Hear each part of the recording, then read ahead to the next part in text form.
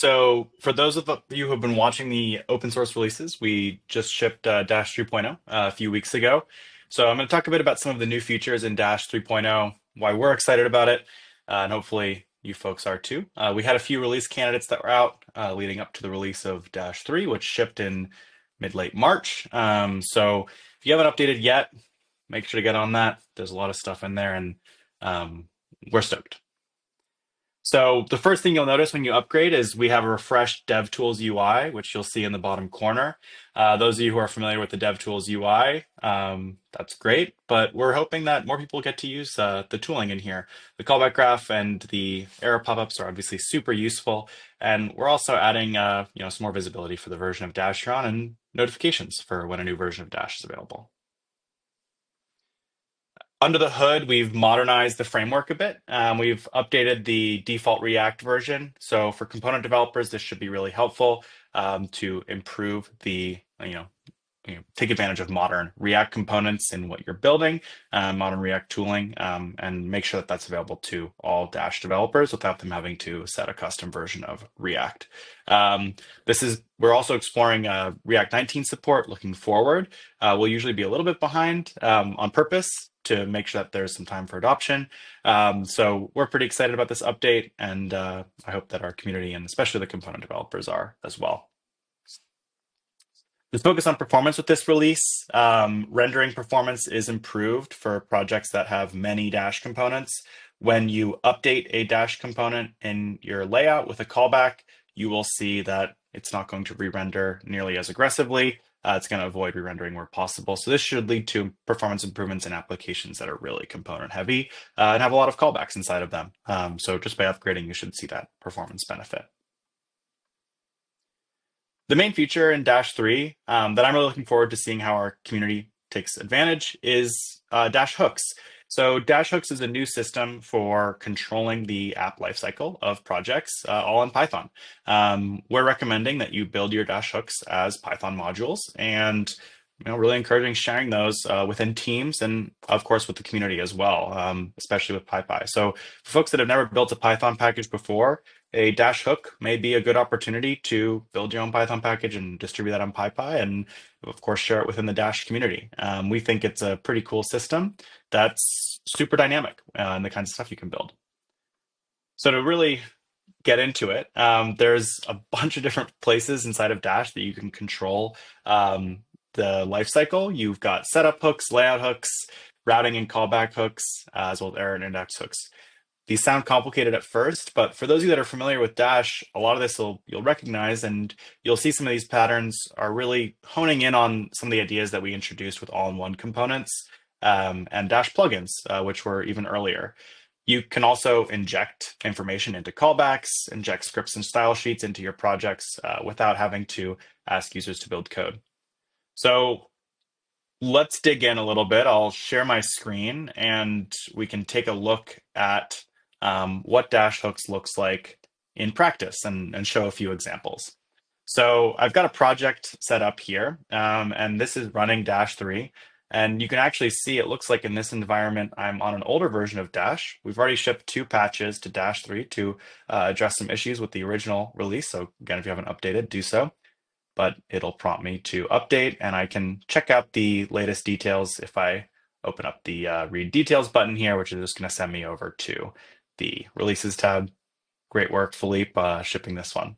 Um, I can also skip or remind later, all that good stuff. Now, this is a really simple app, but what I've done is I built a hook here called custom header. And what the custom header hook is, is um, you'll see it's a layout hook. So hooks are always decorators, uh, not always, but mostly decorators. And in this one, uh, the layout hook, it's gonna, I can write a function which will take the layout as input. And that's actually the original app's layout as it was written. Um, I can consume that layout, modify it if I want to, and update it and uh, spit that back out to the UI. So this is all set up as a module. You'll see I've set this up in the init file. I actually also have a, a setup file as well. So I could publish this out to the world if folks wanted to use it or if I wanted to share it with my team. Um, but because it's in the init uh, file, if I just add in this import custom header to the top, you'll see that the UI actually will update um, in place. So as the Dash developer, I never had to add anything to my layout. I never had to adjust my app other than just adding this import statement up top. Uh, and I have this slick new header that maybe I wrote, maybe someone else on my team wrote and shared with me um, as a module. So depending on how you write this, there are other patterns for building these hooks as well.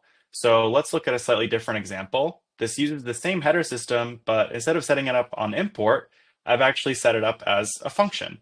So if we look at how the hook file is set up, I have this add header function. Um, and when I call it, it's going to execute the hook and inject the style sheets. So now I can pass parameters in to add header. And if we take a look here, this example actually has an editable title. Um, so let's change that to welcome dash three.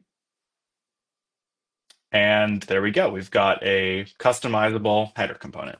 Um, this is a really simple example, but hopefully it gets the creativity going a little bit to see what she could do um, in terms of layout hooks. Let's look at something a little bit more uh, sophisticated. So the last dash hook that I built is a hook called Beautify Layout, really creative name, I know. Um, and in the app example that I have, it's really simple app. It's just a list of graphs. I haven't added any layout or styling or any kind of functionality to this project. It's just a list of graphs. There's nothing really interesting going on here. So if we look at what it looks like when I run it, here it is. It's a set of graphs. Um, they're showing some global financial data. Vaguely interesting. It doesn't look that great. It's not quite ready to share yet. Um, so I'll import my hook that I built and save it. And what this hook does is it actually will take all the content of my layout, introspect it, um, find all of the charts, and rearrange them into a prettier layout.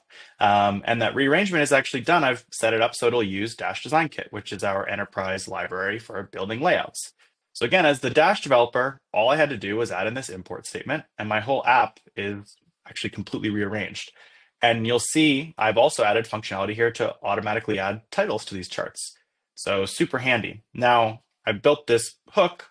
I could send this out again to a colleague. I could send this out to a friend, um, and then they can take it, add it to their Dash app, and then boom, their Dash app is going to be a lot more slick looking. We look at how the hook itself works. Again, this is a little more complicated. It's got this chart analyzer system, which is going to give me the um, which is going to give me the new titles. Um, it also, you can see it's pulling out the charts itself themselves. And this is where the hook comes into play. It grabs the layout, extracts all of the graphs out of this layout, and will put them back in place with the right uh, UI and the right titles. Um, so you, know, you could get even more creative with this, depending on how you want to set this up and what kinds of layouts you want to build with your project. Um, again, with this one, as the Dash developer, you know, I built a really simple app. The only things in my layout are graphs, and just by adding this import statement, I'm able to build something much fancier.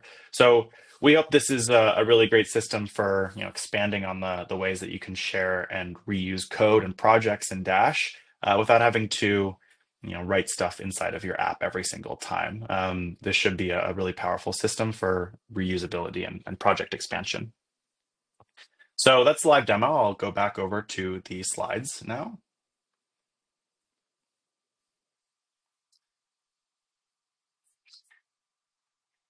So these were some ideas that I had and I built, um, which I just shared, but there's a lot of other stuff you could do with dash hooks. Um, because we have callback hooks, you could reuse a data retrieval function every callback. You could build a hook that pulls data from a specific source and add it to a callback um, and make sure that every callback is now containing that data. That, that would be using the custom data hook.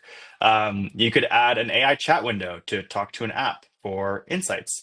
Uh, that would be using the layout hook. Um, so I could write a little UI component that will take the layout as input and lets me chat with that in an AI. You could set up style sheets and scripts to be imported with a Python API. So for those of you who are using external style sheet slot and want to make those redistributable without having to memorize links, you could use hooks to set that up. You could add a watermark on top of the top of your app uh, if you're sharing it inside of a, a private context. Set up templates. So if you have one app layout similar to the AI enhanced dashboard that I was showing, you could reuse that across many projects uh, without having to rewrite that code and keeping the actually backbone layout of your project really simple. So like I said, we're really excited to see what our community uh, members and our enterprise customers come up with. Um, I think I'm just scratching the surface. I think there's a lot of people that are way more creative than I am with this, so I really can't wait. Um, we have great documentation written by our documentation team for Dash hooks. You can see the complete list of hooks, a lot of examples, and also tutorial on how to set it up into modules. Um, so if you've never built a module before or a Python package before, um, there's a little bit of uh, context there that should make it easier to get started. Of course, we're always encouraging sharing your hooks in the community forum if you have never shared there before, um, get on there. Our community moderator, Adam Schroeder, is fantastic. Um, there's a lot of good stuff that happens in there. And keep your eyes peeled. Uh, we may have a hooks related challenge uh, in the future. So give it a whirl. Um, take Dash 3 for a spin. We're really excited uh, for what's to come.